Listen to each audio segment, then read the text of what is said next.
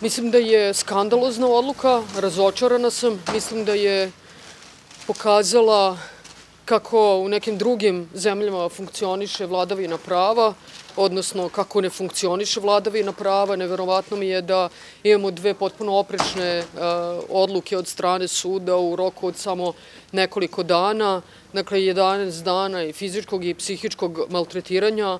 Kao predsednica vlade Republike Srbije nisam srećna ali ne treba biti ni previše emotivan. Dakle, u svakom slučaju jedva čekam da vidim Novaka Đokovića u, u svojoj zemlji, u Srbiji i da nekako zajedno prođemo i sve ovo i da mu pružimo podršku u ovim teškim trenucima. Neverovatno mi je bilo, mislim da se i Aleksandar Vučić, predsednik Republike, osvrnuo na to, neverovatno mi je bilo da vidim brutalne laži, otvorene laži um, u Australiji od strane uh, predstavnika države koji kažu da je vakcinacija u Srbiji ispod 50%.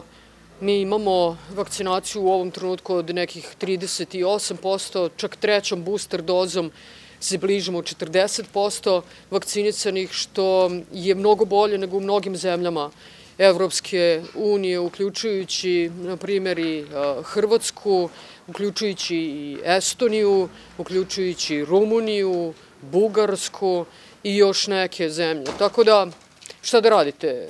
Pokazali su zaista kako to negde izgleda i ja se nadam na kraju krajeva da i zahvaljujući ovome što danas radimo, da takve stvari nikada neće biti moguće u Srbiji. Da u Srbiji kada nekom date vizu, da to znači da ta osoba može da uđe u vašu zemlju, a ne da proputuje pola sveta da bi onda samo izbacili.